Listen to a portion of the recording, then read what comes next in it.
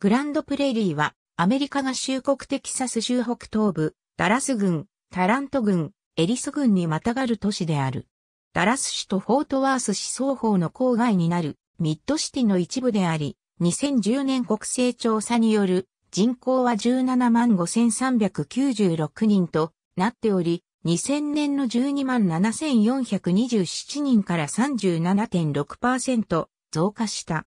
グランドプレーリーとなったところは1863年にアレクサンダー・マクリー・デックマンによるデックマン町として設立されたのが最初だった。テキサス州バードビル出身のデックマンは所有する牛とニューマ社をダラス郡の土地と交換できることを知った。この年、デックマンはトリニティ川東岸の土地239.5エーカーと西岸の森林地100エーカーを壊れた荷車1台、これを引く牛1組、及び南軍通貨200ドルで購入した。デックマンはその土地に家を建てようとしたが、それが困難だったのでバードビルの家に戻り、その後南北戦争に従軍した。その後の1867年、デックマンはダラス郡に50エーカーからなる町の区画を登記した。デックマンは戦後2年間バードビルに戻っていた後、1867年に農場を売って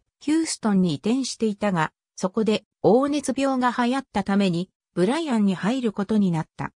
1876年、デックマンは持っている資産の半分を T&P 鉄道に売却し、その鉄道が街を通るようにした。鉄道の方は駅名をデックマンとして、デックマンがブライアンからデックマンに居所を変えるよう促した。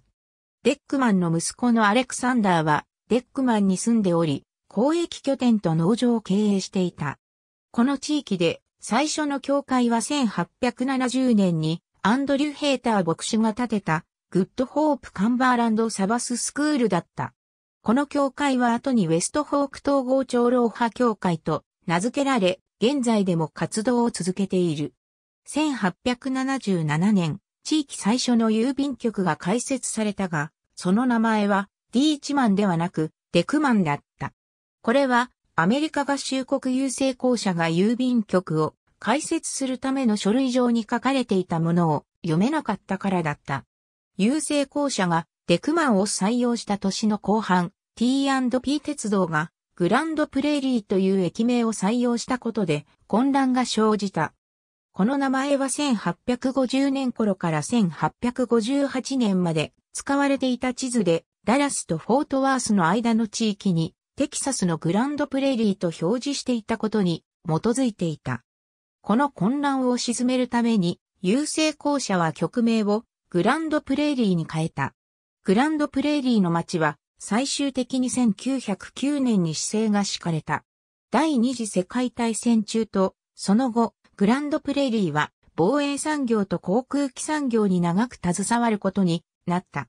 現在のジェファーソンアベニューにあるボート車の工場はダラス市の一区画になっているが、当初はグランドプレリーにあった。戦中はノースアメリカンアビエーションの工場であり、P-51C と P-51 ケームスタング改良型戦闘機を生産した。戦後ボート社がこの工場を引き継いだ。後にリングテムコボート社となり、再度ボート社に戻された。この工場では1950年から1989年まで、イ -8 クルセーダーと A-7 コルセア2を生産した。リングテムコボート社のミサイル宇宙事業部は、スカウトや MLRS のようなミサイルを生産した。この事業部は、ロッキード・マーティンに売却され、グランドプレーリーでの操業を続けている。またアエロスパシアルヘリコプターを生産するノースアメリカンの本社もある。この会社は、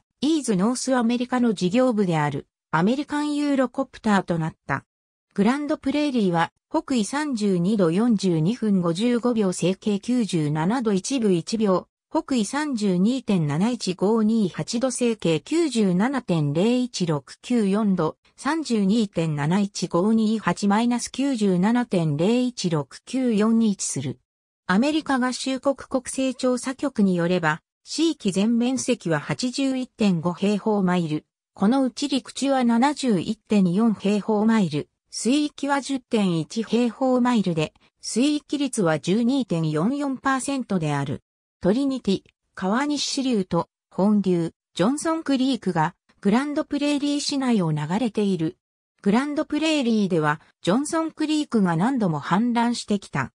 1980年代、アメリカ陸軍工兵司令部の大きな計画がスタートして水路をまっすぐにし、洪水による損害を減じた。グランドプレーリーは温暖湿潤気候にあると考えられている。以下は2000年の国勢調査による人口統計データである。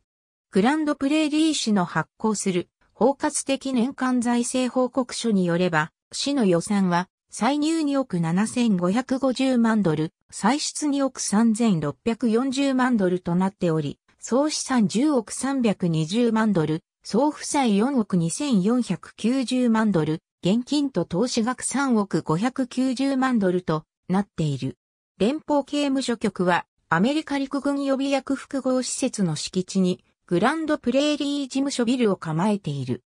連邦刑務所局ビル内に指名宣告計算機センターがあり、連邦裁判所の刑期判決を計算し、受刑者ごとに蓄積された法廷の受刑期と追加、受刑期総量と高知の記録を残している。グランドプレーリー市の発行する包括的年間財政報告書によれば、市内の主要雇用主は以下の通りである。アミューズメントパークのシックスフラッグスが市内に本社を置いている。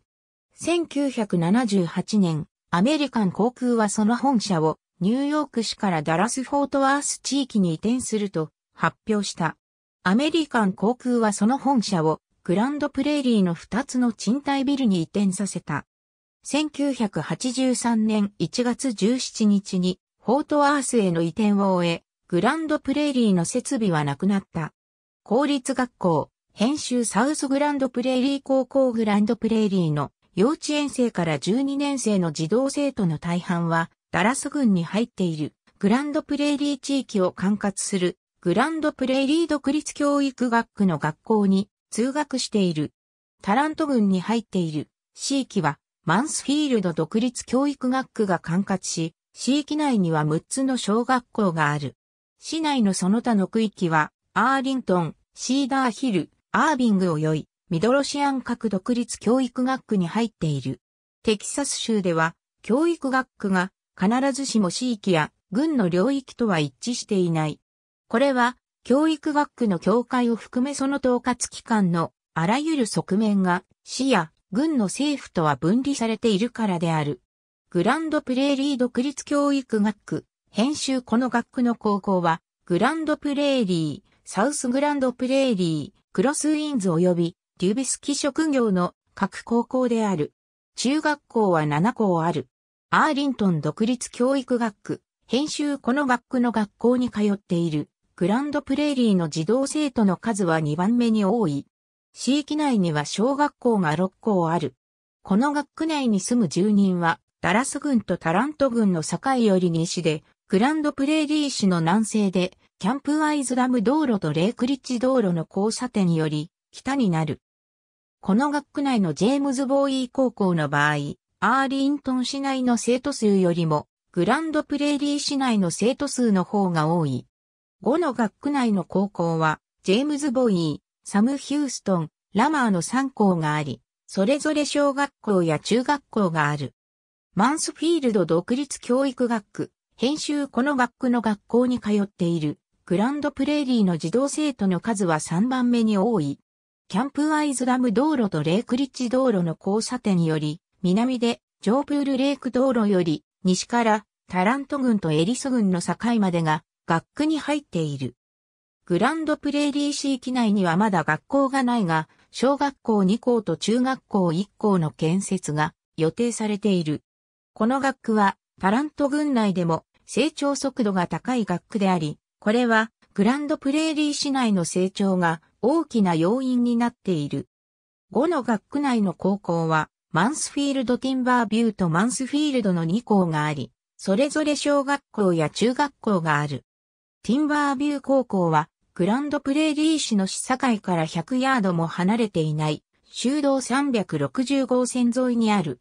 週間高速道路20号線と30号線が市内南と北を東西に横切っており、他に、州道303号線、道180号線、道161号線が週間高速道路の間を走っている。161号線は将来ダラス外環状線の延伸部になる。ベルトライン道路は州道180号線から南に週間高速道路20号線と交差し、シーダーヒルに至る道路である。市内には公共交通機関がない。ダラス地域高速輸送の会員ではない。アップトン劇場のネオンサイン。ありがとうございます。